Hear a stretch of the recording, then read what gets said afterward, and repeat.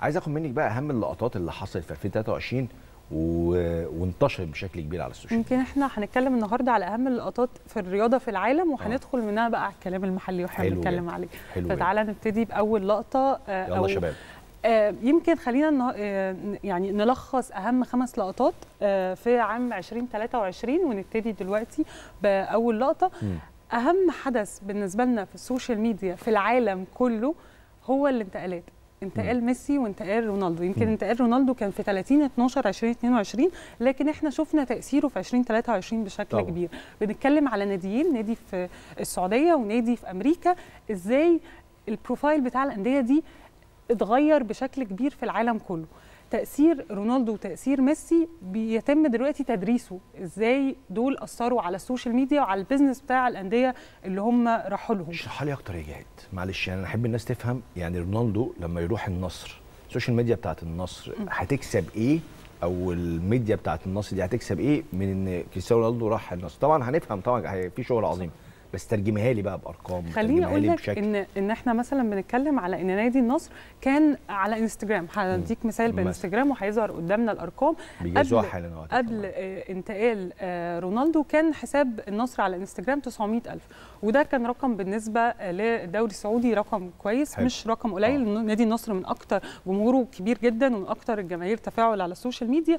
من آه، 900000 بيوصل دلوقتي نادي النصر بيتخطى 15 مليون. آه، يمكن ممكن نجيب الأرقام عشان الأرقام كمان. على طول. وميسي إحنا بنتكلم على إن إنتر ميامي كان مليون على آه. إنستجرام. دلوقتي آه. خلينا نشوف برضو أرقامهم مع بعض.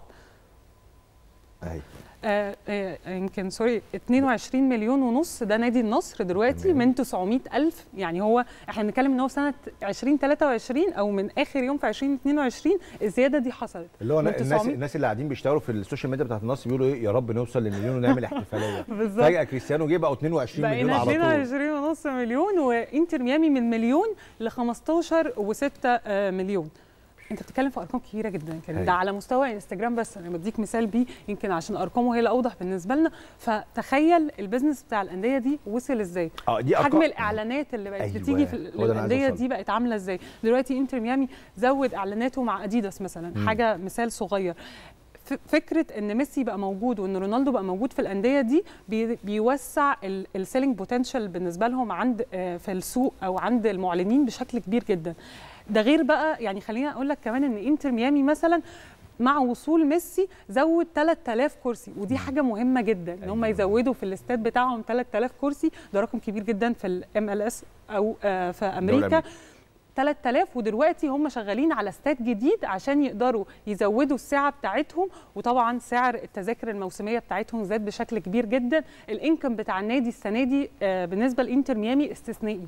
أول مرة يتحقق في الدوري الأمريكي. أرقام ال social media بتاعه إنتر ميامي أكبر أرقام موجودة في ال social media بتاعه الدوري الأمريكي. وعلى فكرة الدوري الأمريكي ال- ال social media بتاعته ناجحة جدا.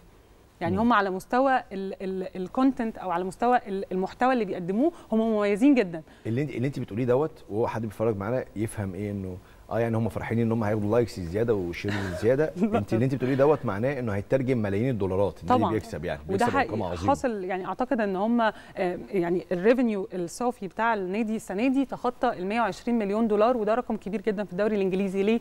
عشان. برضو في الدوري في الدوري sorry الأمريكي عشان الدوري الامريكي عشان أمريكا الكورة مش رقم واحد عندها. صح. أمريكا فيها ال NBA طبعا ال basketball وفيها ال American. football. وفيها الرجبي وفيها البيسبول ودي على فكرة التفاعل عندهم في أمريكا مع البطولات دي أكبر بكتير من الكورة. لكن دلوقتي الناس بقت مهتمة تحضر كل ماتشات انتر ميامي بسبب بس وجود ميسي. حلو.